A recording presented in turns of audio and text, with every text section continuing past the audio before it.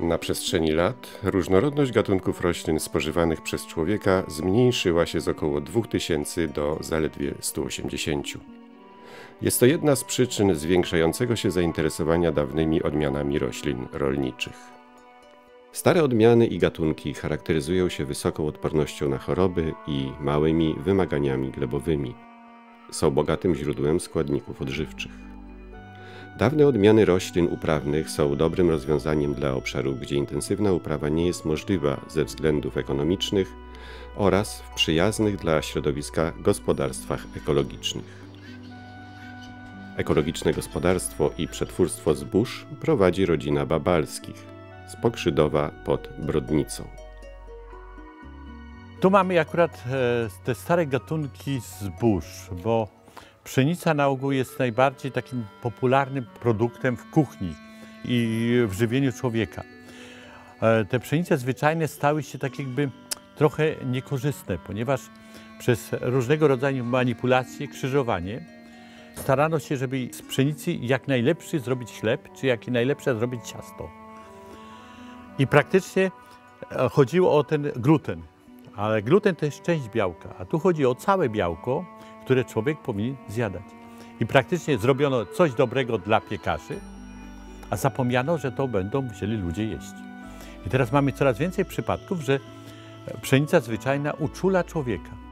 Ja już w Szwajcarii w 1988 roku dowiedziałem się, że jest taki gatunek pszenicy, który się nazywa orkisz.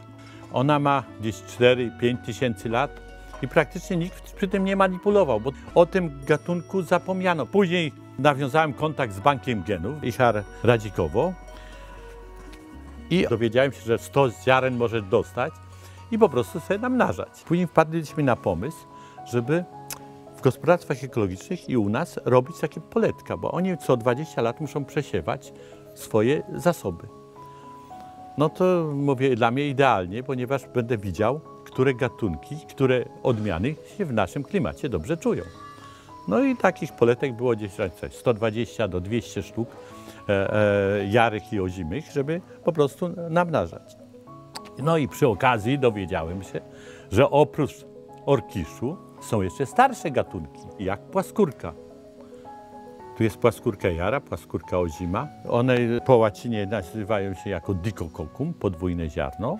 I praktycznie stwierdziliśmy, że ta mąka jeszcze jest lepsza, jest bardziej twarda, idealna na produkcję makaronu. No a później jeszcze dowiedzieliśmy, że jest to taka dzika pszenica, która się nazywa samopsza. I to się nazywa już monokokum, pojedyncze ziarno. I tak jak popatrzymy na ten kłos, to trochę przypomina trawy. Jeszcze słabiej plonuje. Ta się okazało, że jest najtrudniejsza, tak jakby e, w uprawie. Bardzo trudna w oplewianiu, bo jest ziarno drobne i trzeba go wyłuskać. Jak zaczęliśmy to przerabiać i robić mąkę, to klienci, którzy od nas biorą, stwierdzili, że to jest najlepsza mąka dla dzieci, którzy mają alergie, mają problemy z zagrzebionym przewodem pokarmowym. Czy stare gatunki mogą się opłacać? Ja myślę, że w gospodarstwach ekologicznych to jest jedyny sposób na to, żeby mieć jakąś opłacalność tego gospodarstwa. Ta samopsza, która jest naj, najsłabiej plonuje, ale ona kosztuje 3000, jak zbierać z pola, 3000 tona. A jako ziarno to około 5000 i, i drożej kosztuje właściwie w dużych ilościach jeszcze jest nieosiągalna na rynku światowym. Samopsza jest bardzo mało popularna. No, tu akurat w okolicy mamy około 100 rolników ekologicznych. I oni dzięki nam dostają nasiona i, i rozmnażają te stare gatunki. I ta samopsza, jak da na przykład półtorej tony z hektara, no to jest około 4,5 tysiąca. To pszenicy zwyczajnej, jakbyśmy chcieli po 450 zł sprzedać, to trzeba 10 ton zebrać. Także to myślę, że to jest opłacalne. Można powiedzieć, dzięki rolnictwu ekologicznemu mamy te stare gatunki. Gdyby nie było rolnictwa ekologicznego, rolnictwo konwencjonalne na pewno by się wcale nie zainteresowało tymi gatunkami zbóż, bo one słabiej plonują, nie nadają się do nawożenia, ponieważ bardzo szybko wylegają, bardzo chorują. Jak zaczęliśmy produkować, to praktycznie musieliśmy myśleć, że to trzeba przetwarzać. Najpierw marzyłem o tym, że będę robił sery, ponieważ w Szwajcarii robiliśmy tam sery i te sery tam tak pięknie wychodziły, takie smaczne były.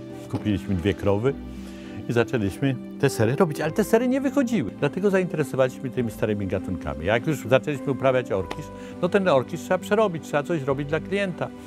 E, Ziarno niechętnie kto kupi. I praktycznie zaczęło się od mąki orkiszowej, która teraz to już jest bardzo popularna i bardzo dobrze schodzi. My robimy mąki nie białe, a więcej takie jak graham, czyli pełnoziarnista. Kiedyś w domu stała zawsze kawa na placie i się piło ją z mlekiem, na słodko, z miodem. No i mówię, to trzeba wrócić do tej kawy.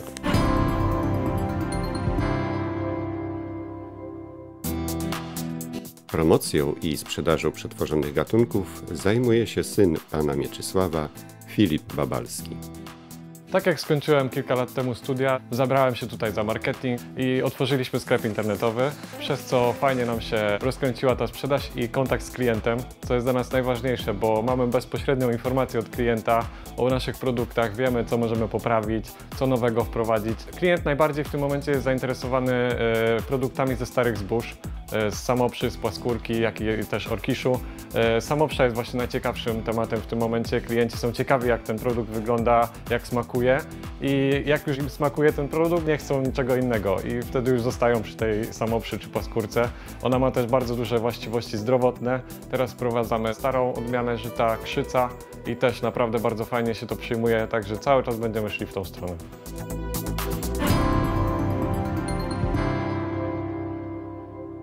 Poza uprawą starych gatunków zbóż w gospodarstwie znajduje się sad z ogromną różnorodnością odmian jabłoni, grusz, wiśni, czereśni, śliw.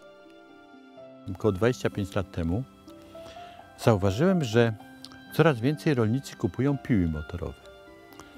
I co ciekawostka, ta piła motorowa na ogół na samym początku była wykorzystywana do starej gruszy, do starej jabłoni. I mówię, o, czas najwyższy zbierać te stare odmiany jabłoni i zrobić taki matecznik tych starych odmian.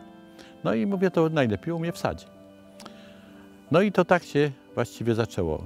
Najpierw Grzesiu Chodun przyjechał, zrobił kurs szczepienia drzew. Jeździliśmy po regionie, zbieraliśmy zrazy. No i z tych zraz zaczęliśmy już szczepić u mnie w sadzie na podkładkach, na antonówkach zwyczajnych. No i dzięki temu mamy tutaj taki sad, one mają już powiedzieć 20 lat, te drzewa. I się nazbierało około 80 odmian takich jabłoni. I praktycznie jak jesz to, to każde jabłko ma tak jakby inny smak. Cały rok właściwie można jeść jabłka. Z tych jabłek jest tyle, że my robimy susze, robimy soki, ponieważ niektóre się idealnie nadają na właśnie na sok, na musy jabłkowe. Dlaczego w sadach na przykład ekologicznych zakładać te stare odmiany? Ponieważ one nie potrzebują ochrony. One sobie same dają radę. Na początku używaliśmy różne preparaty, różne związki, ale później stwierdziłem, że właściwie jak się nic nie robi, to jeszcze lepiej jest. Jak jest dużo różnych gatunków i odmian, bo najgorzej jak jest jeden gatunek i jedna odmiana, to wtedy jest tak jakby problem. Ale gdy masz gruszki, śliwki, jabłka różnych odmian, jedne wcześniej dojrzewają, drugie później dojrzewają, to wtedy powstaje taka jakby równowaga. Równowaga, która pozwala tak jakby samodzielnie e, bronić przed chorobami. Ja nie mam tu żadnego problemu z pszycami, nie ma problemu z żadnymi grzybami.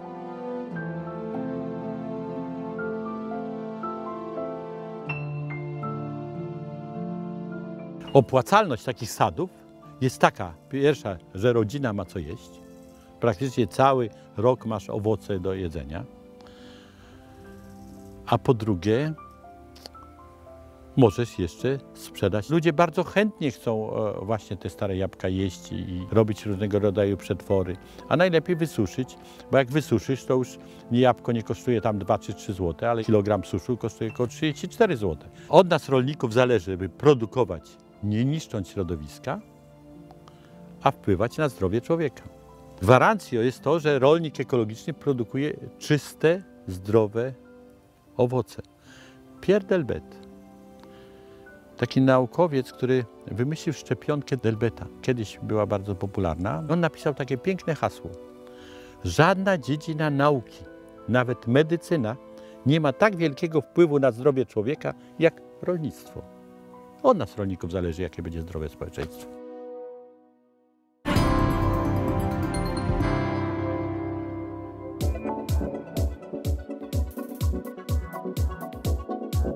Znajdujemy się w Instytucie Hodowli i Aklimatyzacji Roślin w Krajowym Centrum Roślinnych Zasobów Genowych, w centrum Polskiego Banku Genów. Bank Genów służy do przechowywania, zachowywania genotypów roślin uprawnych.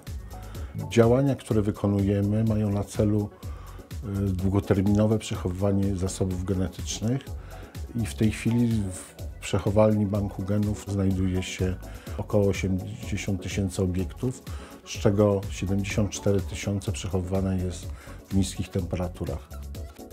Przywracanie odmian do użytkowania ma największe znaczenie w przypadku gospodarstw ekologicznych. My musimy zapewnić rolnikowi to, w przypadku roślin uprawnych, y, rolniczych, żeby osiągał nie tylko satysfakcję moralną, że utrzymuje zasób genetyczny, ale również, żeby otrzymywał satysfakcję e, finansową. Stąd ściśle współpracujemy z programami rolno-środowiskowo-klimatycznymi, gdzie rolnik uprawiający starą odmianę, tak zwaną odmianę regionalną, może otrzymać dopłatę do, do, do, do hektara w wysokości 750 zł, a jeżeli, a jeżeli prowadzi uprawę nasienną to 1000 zł. W ten sposób mu rekompensujemy stratę z powodu utraty plonu, który może być o 1 trzecią niższy niż w przypadku intensywnych odmian. Ale to nie jest jakby celem. Celem jest to, żeby te stare odmiany znalazły swoje miejsce na rynku. Jeżeli wprowadzimy taką odmianę do uprawy i ona będzie miała wyraz w jakimś produkcie, na przykład produkcie regionalnym, to wtedy możemy powiedzieć, że ta odmiana się utrzyma na rynku, dlatego że sprawa dotacji czy też dofinansowania będzie sprawą drugorzędną. Stare odmiany roślin wracają do łask nie bez przyczyny. Mają dobroczynny wpływ na nasze zdrowie i samopoczucie. Posiadają ogromną wartość odżywczą. Należy też pamiętać, że stare odmiany prezentują również dziedzictwo kulturowe i historyczne. Są przekaźnikiem wartości dla przyszłych pokoleń.